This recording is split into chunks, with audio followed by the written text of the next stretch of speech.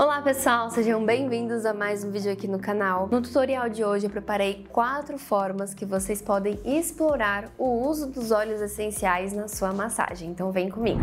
Bom, muito prazer, eu sou a Thaís Coelho, sou esteticista e, gente, eu não sei vocês, mas eu sou apaixonada pelos óleos essenciais. Inclusive, Alguns que eu vou mostrar aqui para vocês, que eu tenho no meu espaço e utilizo, são lá no site da Beleza 10, então vou deixar aqui para vocês abaixo na descrição o nosso cupom, que é o TAIS05, para 5% de desconto. E vocês podem conferir outros produtos e explorar lá o site, porque tem muita coisa boa.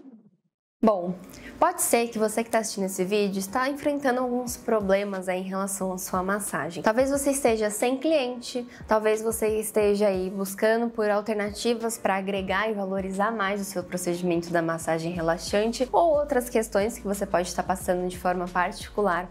E uma dica que eu quero dar hoje no nosso tutorial, né, de ensiná-los nessa questão da massagem com óleo essencial, é dar algumas orientações para você que está buscando realmente uma certa inovação. Uma das coisas que eu mais oriento aqui vocês no canal é sobre você proporcionar na massagem relaxante uma boa experiência, uma experiência que de fato abrace o seu cliente, que ele saia, né, ou ela refletindo ali sobre o quanto foi maravilhoso aquele atendimento, saindo nas nuvens com a sua massagem. E se você está passando por alguns problemas, como eu citei anteriormente nesse vídeo, você pode oferecer esse tipo de massagem aromática, dá até um nome para sua massagem diferente para atrair novas pessoas. Porque a gente sabe que os óleos essenciais, eles são aliados na massagem relaxante e eles proporcionam diversos benefícios, não só no corpo, mas também na mente por meio dessa via olfativa. Então, por que apenas você só proporcionar essa massagem, você não intensifica ela com o uso de um óleo essencial? Vou mostrar aqui para vocês os principais que eu uso, que vocês podem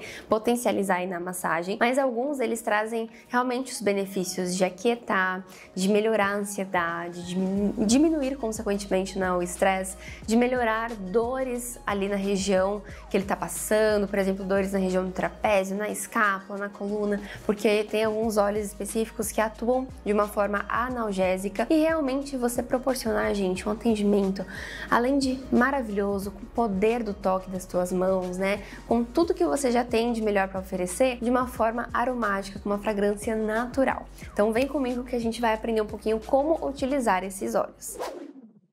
A primeira sugestão, que é a mais simples, a mais conhecida, é você pegar a sua cubeta ó, com um veículo. Então você pode pegar tanto um creme, como eu estou utilizando, de preferência um creme neutro, tá? Ou um óleo vegetal, 100% vegetal. E aí o que, que você vai fazer? Você vai pegar o seu olhinho, aqui eu tô com o da Vedes, que é o de bergamota.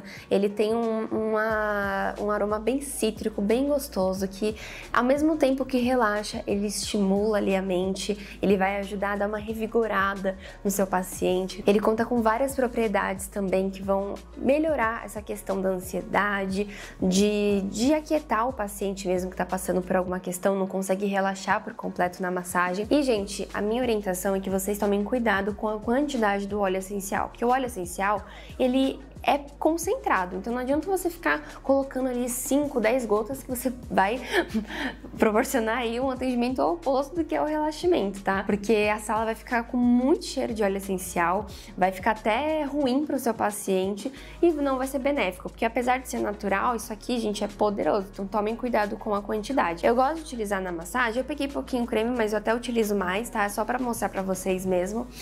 De uma a duas gotas no máximo, no máximo, mas uma gotinha já é o suficiente. Por isso que a gente vê assim, nossa, 10 ml, mas gente, é tão pouquinho que a gente utiliza. Então, pinga uma gotinha, mexe, e o aroma disso aqui, vou até abrir, que bergamota, né, ou tangerina, enfim, é uma delícia. Gente, o cheirinho disso aqui encanta qualquer um. Então, se você tá com dúvida, de utilizar um óleo essencial além da lavanda, que é a mais conhecida que a gente já vai mostrar aqui também para vocês, o de bergamota é uma boa saída e um excelente investimento para você. Agora eu quero dar um recado rapidamente para você que é estudante ou profissional da área da estética.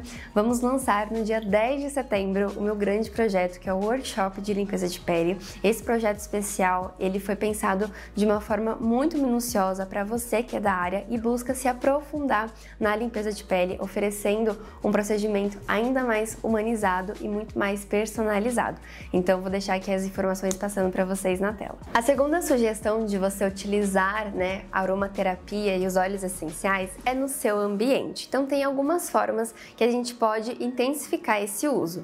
A primeira delas é utilizando um difusor aromático. Então esse aqui, por exemplo, ele conta, né, com um compartimento aqui que a gente liga na tomada, a gente coloca um pouquinho de água e algumas gotinhas. Aqui pode até colocar mais mesmo, porque ele vai soltar o vaporzinho e vai aromatizar a sua sala de um jeito muito único. Fora que esses, né, tem vários tipos. Esse, a gente conectando na tomada, ele ainda tem um LED aqui dentro que vai mudando de cor, você pode controlar também. Fica lindo na sua sala, dá pra você tirar várias fotos e surpreender os seus pacientes dessa forma com um cheirinho muito gostoso e agradável. E uma outra forma de você utilizar uma terapia na questão ali do ambiente, na nossa segunda dica, é por meio de sprays.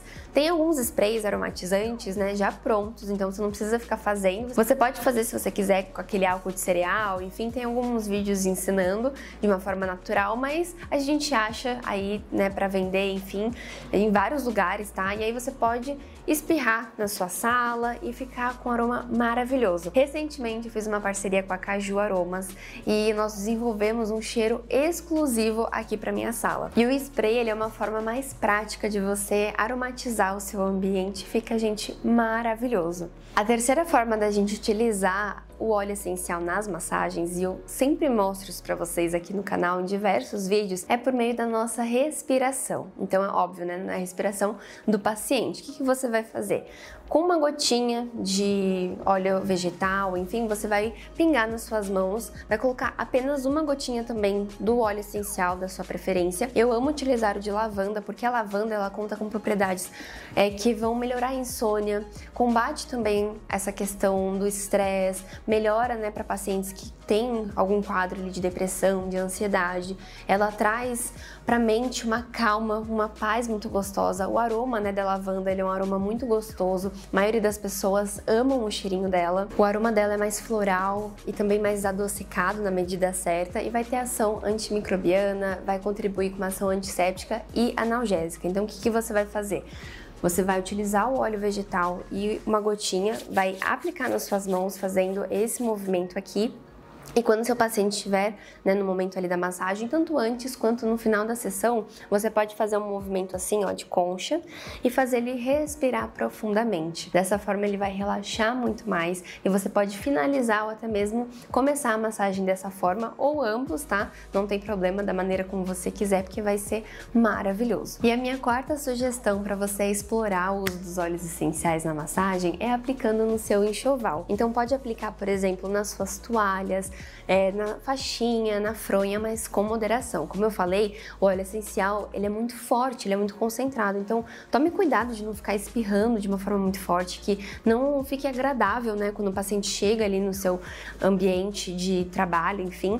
E o que, que você pode fazer? Da mesma forma que a gente aplicou uma gotinha para o paciente re relaxar e respirar, você pode aplicar de uma a duas gotinhas na sua mão e ir espalhando assim no seu enxoval, na sua fronha, no travesseiro ali, para que quando ele deite na maca, ele já sinta esse aroma de uma forma bem agradável, sutil e sem atrapalhar, né? Num cheiro muito forte. Vai ficar bem gostoso na medida certa. Bom, pessoal, espero que vocês tenham gostado das dicas de hoje. Me conta aqui nos comentários se você já explora os óleos essenciais dessa forma. Quero saber aqui para vocês como vocês utilizam, se vocês têm outras sugestões de uso também desses óleos poderosíssimos na estética e na massagem relaxante. Fica aqui meu beijo, ficam todos com Deus e até a próxima.